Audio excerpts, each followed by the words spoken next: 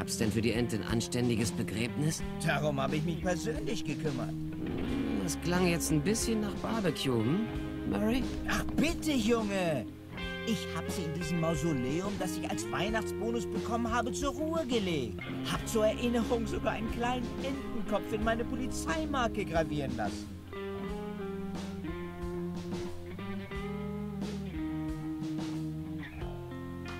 Fuck, Mary, Mann. Ich war schon seit Beaches nicht mehr so nah am Flennen. Ich bin stolz auf Sie. Danke, Kleiner. Aber ich tat nur meine Pflicht. Kann ich die Marke mal sehen? Tja, normalerweise mache ich das ja nicht, aber... Ach, was soll's. Äh, die Ente sieht eher wie ein Hase aus. Was? Nein, man muss den Kopf etwas schräg legen. Stell dir vor, die Ente schaut nach oben. Man erkennt aber einfach einen Hasen. Ich meine, ganz ohne Kopf schräg legen oder so. Ich meine, da sind die Ohren, da ist der Schwanz und hier die Nase. Nein! Warum sollte sich jemand einen Hasen auf die Marke gravieren lassen? Ja, vielleicht gibt es ja einen Kopf, der einen Hasen aus einem brennenden Fahrzeug gerettet hat. Aber egal, schauen Sie mal, schauen Sie mal hin. Das ist im Leben keine Ente. Enten haben keine Zähne. Das hier, das, das sind Zähne. Hör auf! Es ist eine Ente. Ich wollte eine Ente und ich habe auch eine Ente bekommen. Schluss jetzt!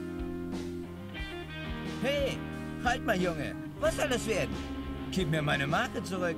Oh, tut mir leid. Wo habe ich nur meinen Kopf?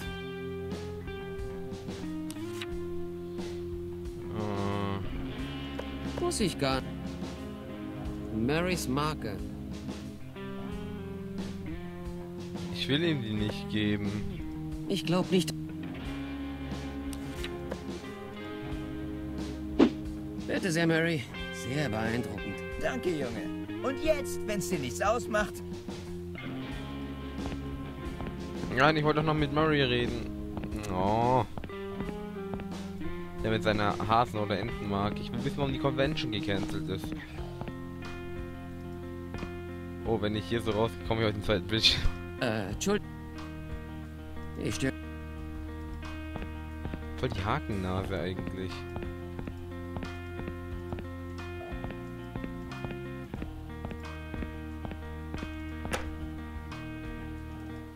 Gehen wir mal bei Matt vorbei.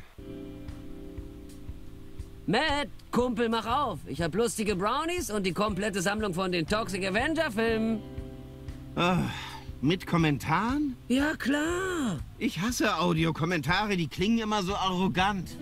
Ich, ich schlitz mir lieber den Hals auf. Oder wir schauen sie ganz einfach ohne Kommentare an. Warum hast du die dann mit Kommentar gekauft? Waren die teurer? Glaubst du, du bist was Besseres, weil du dir das leisten kannst, oder was?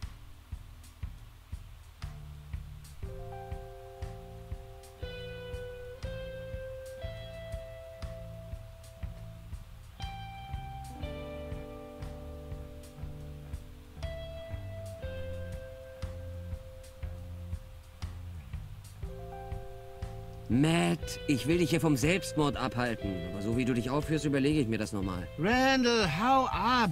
Ich will niemanden sehen, nur Sally. Okay, ich rufe sie mal an. Halt durch. Wag das ja nicht! Wo hast du überhaupt ihre Nummer her? Was hast du vor?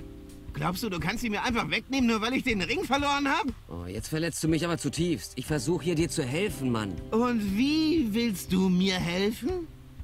Du kannst nichts für mich tun, Randall.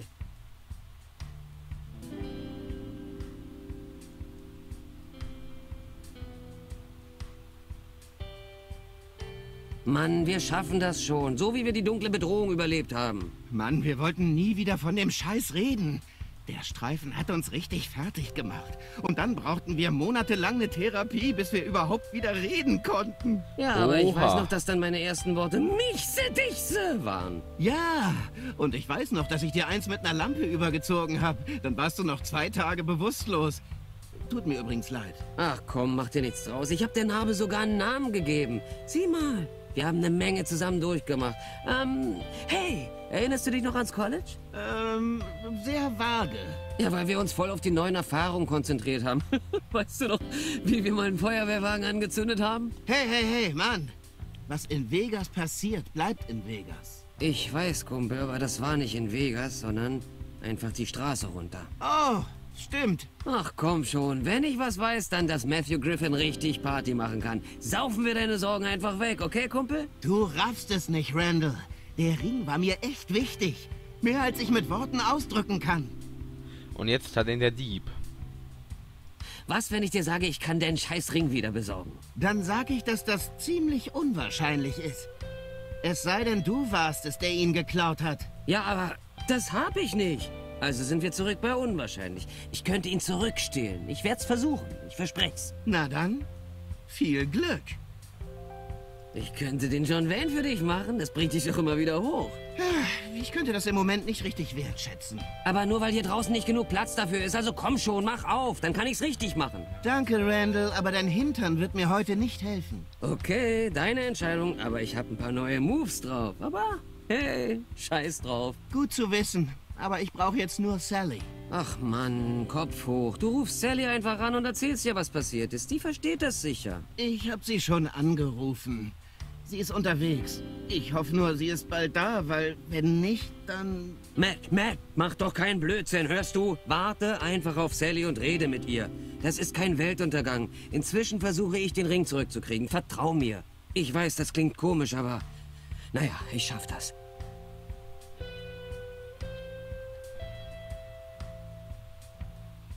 Das ist Matt, mein bester Freund. Steht jedenfalls so auf dem Klappentext. Okay. Ah, jetzt ein Screenshot. Okay, hat sich noch nicht umgebracht.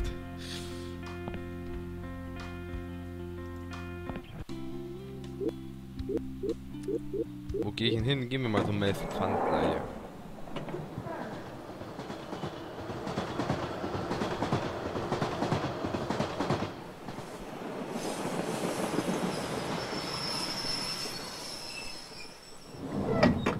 Dann kann ich ja zu Amazon Express eigentlich gehen. Ein Typ da sagt. Ach, ach, ach, ach, wer steht denn da rum? Äh, ich würde mal sagen, erstmal speichern. Den Spielstand hier. Speichern. Ich wusste, dass du hier rumhängst. Kennen wir uns? Ich kenne jedenfalls dich. Gib mir den scheiß Ring. Was? Du hast mich schon richtig verstanden. Oder willst du mir weismachen, dass du den Ring nicht in deinem Besitz hast? Bist du ein Bulle? Sehe ich vielleicht aus wie ein Bulle? Wenn du kein Bulle bist, schlag ich vor, du lässt mich in Ruhe. Sonst fängst du dir echt Probleme ein.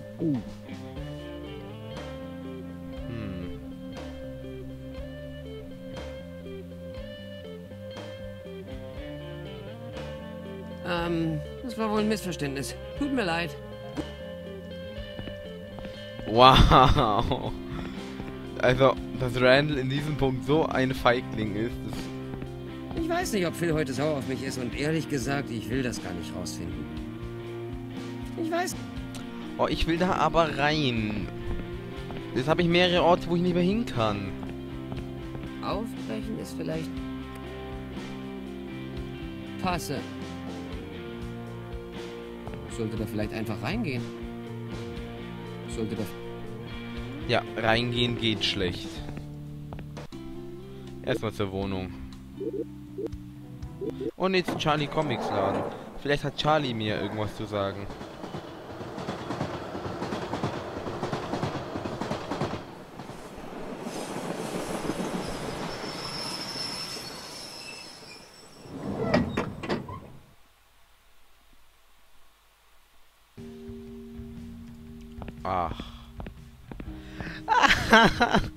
Ich will nicht noch mehr. er- Der Typ ist mir wie aus dem Gesicht geschnitten. Wow. Warum ist denn mein Gesicht auf den Plakaten? Schmutzige Spielchen, ne? Na, dann kann ich. Lord Vader. Admiral. Es ist eine Ehre, Sie hier zu treffen. Halten Sie den Mund, Admiral. Ich bin hier, um Sie vor dem Zorn des Imperators zu warnen, da Sie schmerzlich an Disziplin vermissen lassen. Was? Ich bin ein Abbild der Disziplin. Der Imperator teilt diese Einschätzung nicht. Ja, wie auch immer. Übrigens.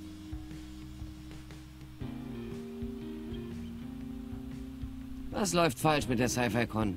Ist sie von lauter Rebellen unterwandert oder was? Schlimmer. Sie ist abgesagt worden. So wie der dritte Todesstern. Verstehe. Ich lebe am anderen Ende der Galaxie. Wissen Sie, wie viel ich für Sprit ausgebe? Tja, schätze, dass so ein Sternzerstörer eine Menge verbraucht. Aber wir beide wissen, dass du bei deinen Eltern im Keller wohnst. Also lass mal stecken, ja? Äh, diese verdammten Evox. Bin sicher, die stecken dahinter. Klar. Wie läuft's am College? Woher wissen Sie, dass ich studiere, Admiral? Ich verbiete Ihnen, die Macht auf mich anzuwenden. Ich weiß eine Menge über dich, junger Anakin. Ich spüre eine Erschütterung in der Macht und in diesem Erzählplot. Ich sehe, Obi-Wan hat Sie gut unterrichtet. Und ich sehe deinen Vater. Er hat das mit der Roboterfreundin rausgekriegt und er ist gar nicht glücklich darüber. Was? Ist das wahr? Nein. Entspann dich. Dein Leben ist sicher schon kompliziert genug, wenn du schon so rumlaufen musst. Ge äh, gepriesen sei der Imperator. Für einen Moment dachte ich so, Mann, jetzt ist aber echt die Kacke am Dampfen. Nicht so schnell. Ich weiß offensichtlich Sachen über dich, die niemand erfahren soll. Sachen mit hm, Roboterfreundinnen. Was verlangen Sie für Ihr Schweigen, Admiral? Ich warne Sie, ich habe kein Geld. Das hat mir kürzlich ein Junge mit einem Luftballon geklaut. Wissen Sie, wie demütigend das ist? Er hat nicht mal die Hand seiner Mutter losgelassen dabei. Oh Mann, der Schweinejunge, der ist echt übel. Aber darum geht's hier nicht, mein Freund. Die Frage ist, was kannst du für mich tun? Tja, äh, ich bin Computeringenieur. Ich kann eine Menge Sachen. Das ist etwas vage. Kannst du mir drei Wünsche erfüllen? Nein, aber ich kann fast alles reparieren. Okay, ich weiß nicht, wie das im Moment behilflich sein soll, aber ich merk's mir. Wie geht's dem Imperium? Nicht sehr gut. Diese verdammten Rebellen sabotieren immer unsere Anlagen. Ja, diese scheiß Rebellen. Immer mit den Fingern in den Angelegenheiten anderer Leute. Und das ist ja nicht mal das Schlimmste. Alle im Imperium sind jetzt in der Gewerkschaft. Man kann einfach keine Galaxie richtig regieren mit den ganzen Gewerkschaften und Streiks. Sogar die Sturmtruppen haben eine Gewerkschaft? Sogar diese blöden Roboter, die nur auf den Sternzerstörern die Gänge staubsaugen, haben eine. Gut, oh Gott, da gibt man nur den kleinen Finger und die nehmen die ganze Hand, hm? So sieht's aus. Tja, ich glaube, wir haben mit dem scheiß Rollenspiel hier schon genug Zeit totgeschlagen. Man sieht sich. Gewiss, Admiral. Und denken Sie daran, ich kann fast alles reparieren. Ja, danke, Darthy. Werd's mir merken. Äh, haben Sie mich gerade Darthy genannt?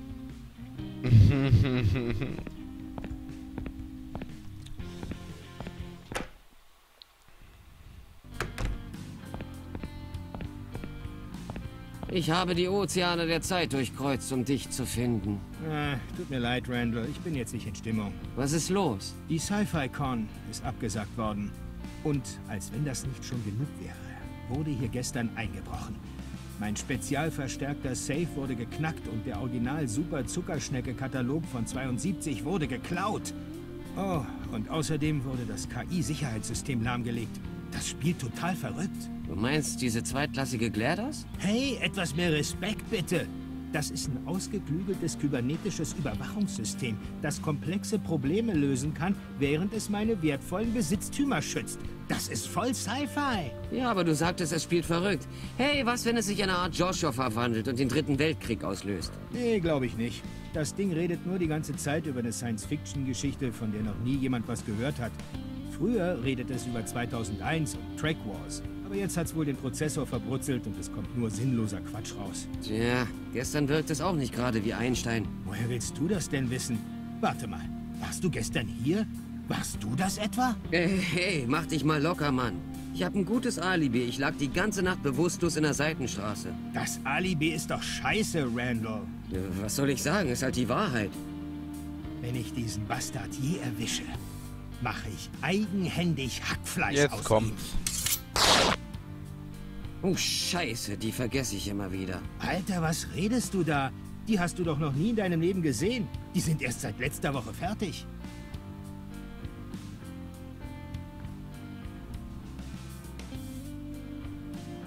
Tja, weißt du, wenn ich dich mir so vorstelle, hast du bei mir schon immer Clown gehabt. Mir gefällt nicht, wie du das sagst. Hm, mir auch nicht. Reden wir lieber von was anderem, ja? Tja, ich würde auch gerne dieses absurde Gespräch beenden. Ich hab zu tun. Hey, Tut mir leid, Randall, aber mir ist gerade... Wenn du ein sinnlos Gespräch führen willst, red mit meinem Supercomputer. Okay. Hat hier nicht irgendwo diese selbstgebastelte Captain Red Figur rumstehen? Hey, was glaubst du, was du da machst? Ähm, äh, ich räume hier nur ein bisschen auf. Weißt du, was so ein Laser kostet? Was glaubst du denn? Natürlich nicht. Dann fass hier nichts an. Der Techniker bringt die wieder an. Ist das überhaupt legal? Was glaubst du denn? Natürlich nicht. Randall, ich weiß, das ist nur ein Stück Schrott. Aber weißt du was? Es ist mein Stück Schrott. Also lass es dann. Klar, Mann. Ich will dir auf keinen Fall deinen Müll wegnehmen. Mein Stück Schrott. Reden wir mit Herrn. Hallo? Oh, du. Es ist schon lange her. Wie geht es dir? Tja, Ich war intensiv damit beschäftigt, tot zu sein. Weißt du? Nachdem du mich umgebracht hast. halt, warte mal. Ich wollte doch nur... Okay, schau mal. Wir beide sagten Sachen, die wir jetzt bereuen. Aber ich glaube, wir können unsere Differenzen aus dem Weg räumen. Um der Wissenschaft willen, du Monster. Ja, das wäre doch mal schön. Super Hot Chick. Vor allem, da steht auch noch. Dann Super Hot Chick. Du erinnerst dich also an mich? Na, das ist ja mal was ganz Neues. Natürlich erinnere ich mich an dich. Du bist derjenige, der mich ermordet hat. Wenn du das so sagst, klingt es aber sehr finster. Sagen wir mal, wir hatten eine kleine Meinungsverschiedenheit. Ich wollte den Katalog und du wolltest mir den nicht geben, also da musste ich doch was unternehmen, oder? Du hast mich mit einem Hammer zu Tode geprügelt. Ach, sag doch nicht tot dazu. Das klingt ja schrecklich. Und du bist noch am Leben, oder? Also kann's gar nicht zu Tode gewesen sein, oder? Du hast recht. Ich war nicht vollständig tot. Ich habe eine höhere Bewusstseinsebene erklommen. Was ich auch genau so von Anfang an vorhatte, siehst du? Alle sind glücklich. Das bist du nicht, Randall Hicks. Woher weißt du meinen Namen? Den habe ich dir nie genannt. Ich weiß eine Menge Dinge. Ich habe gehört, du wärst verrückt geworden oder so. Was hat's denn damit auf sich? Unsinn.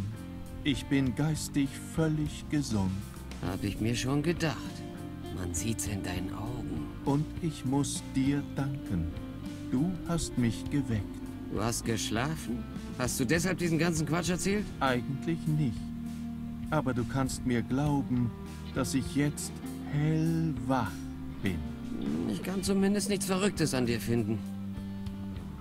Also nennst du mich heute nicht Dave? Warum sollte ich? Das ist nicht dein Name. Aber trotzdem hast du das gestern gemacht. Aber das gestern hat gar nicht existiert, Randall Hicks. Du hast es aus dem Nichts erschaffen, indem du das Raum-Zeit-Kontinuum manipuliert hast. Klingt ja richtig ernst. Ist es auch. Du musst unter allen Umständen diesen Ring wieder beschaffen. Jetzt Hey, fängt's damit an. du weißt was über den Ring? Ich weiß alles, Randall. Dann hilf mir, ihn zu finden. Was erwartest du denn von mir? Ich bin völlig unbeweglich. Tja, weiß nicht. Du könntest mir einen Gegenstand geben oder so. Das wäre doch das Mindeste. Ich habe nichts, was ich dir geben könnte. Dann sind wir wohl hier fertig. Dann gehe ich wohl. Warte. Was noch? Sollen wir ein Spiel spielen? Kommt drauf an, was du mit Spielen meinst, weil ich bin kein Homobot. Oh, nichts dergleichen. Nur ein kleines Frage- und Antwortspiel. Wenn du drei Fragen hintereinander richtig beantwortest, gewinnst du. Und äh, Okay. was genau gewinne ich? Nun, ich habe dir nichts anzubieten.